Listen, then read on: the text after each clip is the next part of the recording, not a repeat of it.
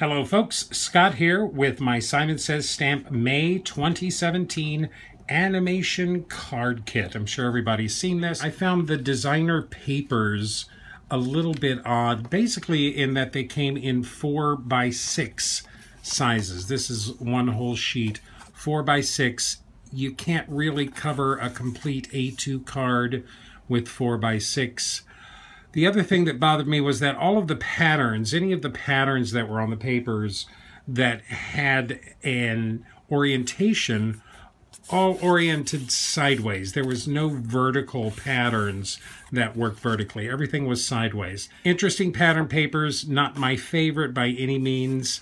Our big treat in this kit was the Crayola fine line markers. I played around with these fine line markers for a bit they are not too bad for a Crayola product. A little blotchy when you go to mixing colors together. I had a hard time blending. I had an easier time getting a fade with a single color, but these colors kind of wanted to run all over the place. I did play around quite a bit with these markers to see what I could actually possibly accomplish. These are a great little bonus. I'll definitely keep these in my stock. So I, of course, went through and stamped everything just to get a feel for it. Um, I didn't stamp any of the butterflies. I'm not really a butterfly person. I don't do butterflies. So I concentrated on these four images. I, of course, played around with stamping them in colors stamping them multiple times, and of course playing with the acetate grid paper over the top of them to see how they worked. I liked the hearts in a row in red. When I found out I could stamp in color and the color would actually transfer, that made me very happy. Get a pretty good green cactus behind the black grid paper just by stamping them in green. Took me a while to figure out what this cactus was doing, but I think I figured out that he's tossing a heart around, spinning around and tossing a heart around. So that comes into play later. And then I decided to dig into the kit and start making cards. So of course I went to one of the watercolor papers to begin with. This is the Flamingo watercolor paper originally the sentiment on it says, hello, love. That sentiment didn't do too much for me. So I colored this up with my uh, clean, my Zig clean color real brush markers. Then I decided to replace the Hello Love heart up here with a Let's Flamingle. I die cut the watercolor flamingo with a stitched rectangle die. I matted that on some Core'dinations Glimmer cardstock. Put that all on the dull pink card base. Used a Darice die to cut the hearts out. Let's Flamingle I did on my silhouette. The font is Marketing Script font. Uh, pink, touch of green, Let's Flamingle card number one. So I decided to play with some of the acetate sheets that came with the kit. So we came up with this U-Rock card. This is some of the pattern paper from the kit, just a little piece of it. I then matted it on one of the solid color sides of another piece of cardstock. This is all mounted on the green apple cardstock. I have some Mylar lying around the house, just old sheets of Mylar. I think I have this in my uh, gift wrapping box, uh, but decided to fill in the glasses of these round glasses with mylar. So you actually get a good reflection in the mylar. You can't quite see me there but you can see the camera almost. You rock. I thought this was fun. Cut this out of the acetate. Cut little circles out of the mylar with my silhouette. If anybody has a silhouette and wonders what size that circle is it's 0.92 inches the You Rock sentiment I cut out on my silhouette. This is the Futura font. This was cut out of the Core'dinations Metallic Kraft Core cardstock. This is a Tim Holtz cardstock. Wet U-Rock, pretty simple, straightforward card. I liked being able to use only a little bit of that pattern paper. A few sequins in the lenses of the glasses on the pattern paper. Of course, the Mylar in the big glasses. I even put a couple of sequins in the corners of the eyeglasses there. You rock. great fun card. My second card for this month. So I'm still playing with the acetate sheets. I really liked the kite. It was on the side of the page, so I realized I could use the kite as the edge of a card. The stamps, the clouds, the sentiment are from a Stampin' Up set called The Sky is the Limit. I did a few of the clouds in the blue paper on the back. This is a Core'dinations paper that I cut to fit for the inside. Used the kite from the acetate, a few more tone-on-tone -tone clouds on the outside. The sky is the limit. This is fun. I really liked the kite on this piece, and it made a perfect edge for this fun acetate card. That was my third card. So my fourth card, on the numbers acetate sheet, there was this terrific pink polka dot 3. I have a niece whose next birthday is her third birthday. So when I saw that 3, I decided I had to make a birthday card for her.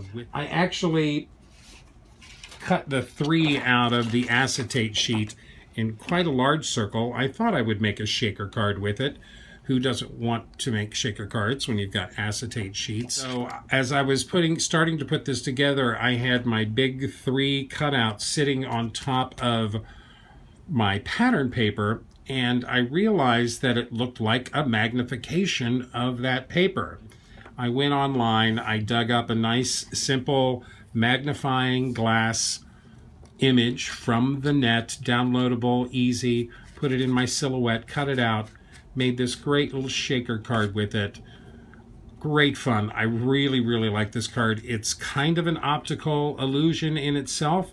It kind of looks like that magnifying glass is magnifying the paper underneath it. No sentiment on the front, but on the inside it says, big birthday wishes. I uh, filled the window with some Darice iridescent sequins in a couple of sizes. I did cover the magnifying glass with glossy accents, a big three for a big birthday wish. It's my fourth card. I really like that. I feel like it kind of goes along with the whole optical illusion of this set. So I tackled the cactus watercolor card. Again, I used my Zig Clean Color Real Brush Markers. I couldn't help it. I had to use them.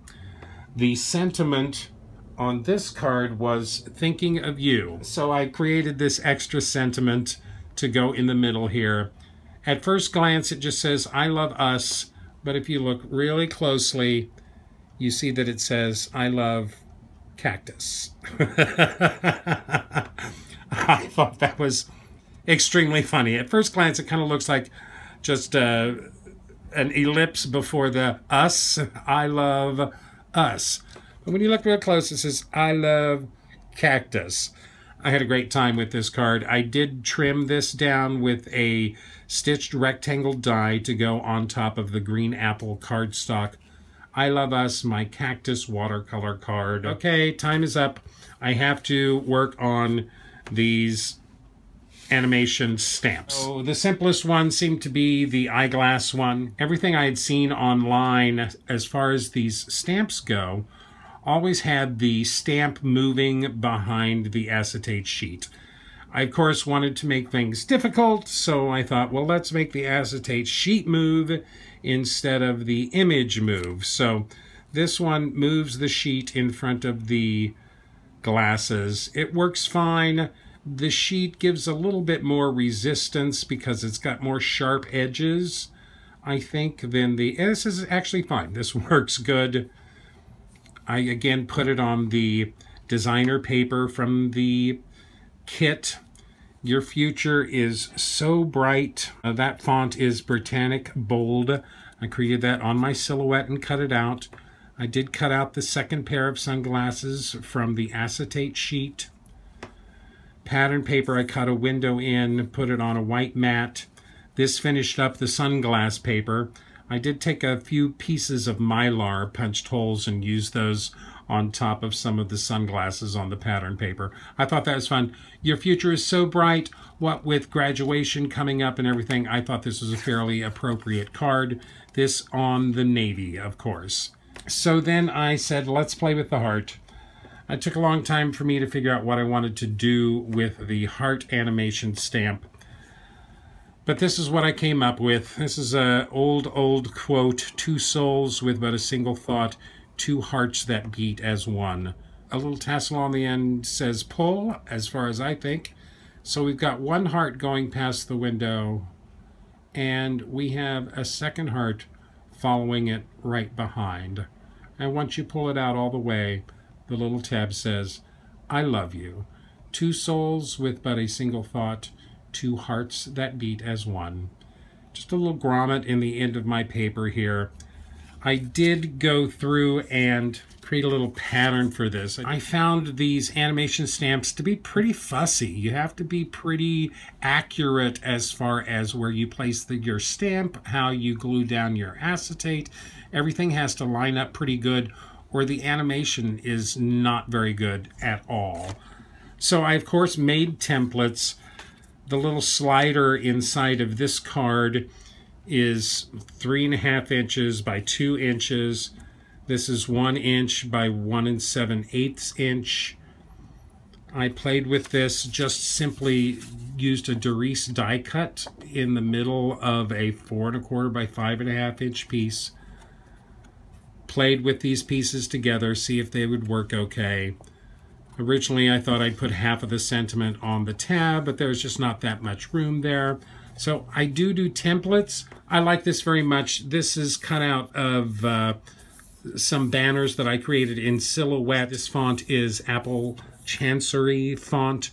A few sequins for a little glitter. This, of course, is designer paper from the kit. But if you look, the hearts are all setting this way. So if you had turned it sideways, the hearts would all be sideways. Again, the pattern kind of forced the horizontal execution. Of course, it's way past Valentine's Day, but it's never too early to start thinking about next year. I did stamp the hearts in red, and as far as I'm concerned, the red plays through the black acetate just fine. Two hearts that beat as one. That's my second animation card. So then I had to tackle the flamingo. But this is what I came up with. I did stamp the flamingo in a coral red. Works really pretty good in this instance. I cut this frame out of a couple of stitched rectangle dies, created the flamingo piece that slides around behind it. Again, I sketched that out. This piece is four inches by two and three quarters by three quarters of an inch for the tab. So my sentiment for this is even the pinkest flamingo starts out gray. I thought that was a really nice sentiment to go along with the flamingo. I forced our flamingo designer paper into a vertical orientation. I used the edge of the watercolor paper that I had cut off of the cactus card. I used that piece, colored it lightly with the pink fine line marker, put it on the edge. That gave me a quarter of an inch between this frame and the outer frame to squeeze that flamingo paper in. So I cut the flamingo paper in strips and pieced them together all the way around the card so that they were facing in the right orientation. You can see a seam right there I think there's a seam hidden over here. There's a seam hidden. There's a seam hidden up here. If you look closely, you can see the seams.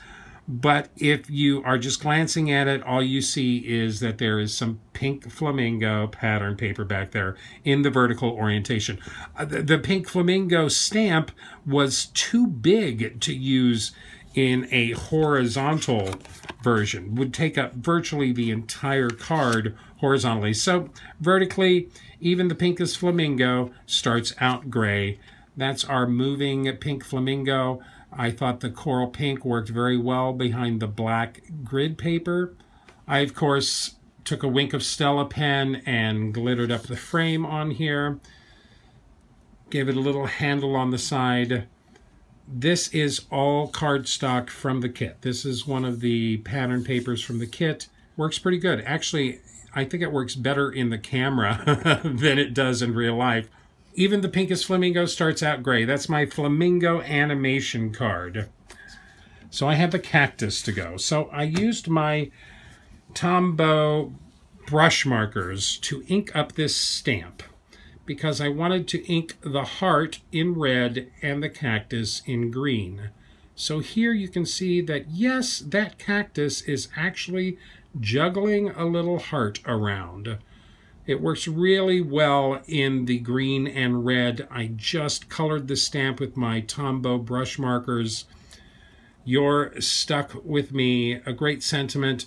I did use the cactus paper from the set. I thought this was a fun card. I cut my window out of this from my Spellbinders Decal Edge rectangle dies. Glitter on the edges to cover up, of course, what's on the white cardstock now. You're stuck with me. A little reinforcement over here for the pull tab. I really like the fact that the, you can see the heart. If you color the heart separately from the cactus before you stamp it, I think it makes a little bit more sense. You're stuck with me. That's my cactus animation card. So when I heard that we were getting this animation stamp set with our card kit this month, I went online and did some research, not just into the stamps, but also into the whole animation thing. Now, these are actually, uh, I believe they're called moire patterns, moire animations. So I did go online. I, of course, have some acetate, printable acetate. There's a lot of places online where you can download images and they have the little grids that go with them, everything. And you, there's some really amazing animations available online. This, of course, is a wolf or a dog running.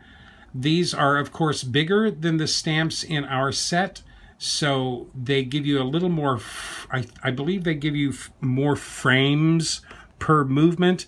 I think these larger images have like seven frames for their animation, while I believe the stamps in our kit have three or four frames for the animation. Great fun. They work really nice. Oh, this is a great one. Uh, some of these bigger ones are terrific. This, of course, is a dinosaur. There you go. You can see the dinosaur moving. Again, this dinosaur has got about seven different frames of animation, so it makes his movements very smooth, very good. This also gave me the idea that I can stamp in color because this image is in color. Though the grid is black, it still reads as color through the grid as it's doing its animation. I thought that was great fun. I also found this other one that I went ahead and printed out that I happen to really, really like. Just this big spinning gear. A great piece of moire animation. These are all great fun. Of course, seeing just the image I didn't try to reduce any of these down to the size of a card, but I did find some other patterns that were usable in smaller formats. So for my last card this month, we've got Have a Groovy Birthday with a little moire action going on right in the middle. Oh, this card made me very happy. I actually found this ray pattern online. I will link to it down below. Printed one in acetate, one on paper. The one behind is what's moving and creating the movement. Have a groovy birthday. That's printed and cut on my silhouette. I did use the Brady Bunch remastered font. I thought it worked perfectly for this card. This is yellow cardstock from the designer paper. I did find some stickers, some groovy flower stickers to stick on the front here. Have a groovy birthday. I will probably make lots of these cards for friends and people of my age who still know what groovy means. Have a groovy birthday. It works in both directions. A great card. I really, really, really enjoy this card. Those are my 10 cards for the month, ladies and gentlemen. I hope you enjoyed.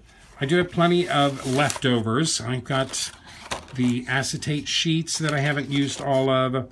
I do have that nice little gift card that came in the kit. Now, of course, of course, Uchi Designs has got many, many more animated stamps and dies that will create envelopes and create flaps and create pull tabs and create all of the hardware around the stamps that probably makes them easier to move. I always appreciate getting new products in a card kit.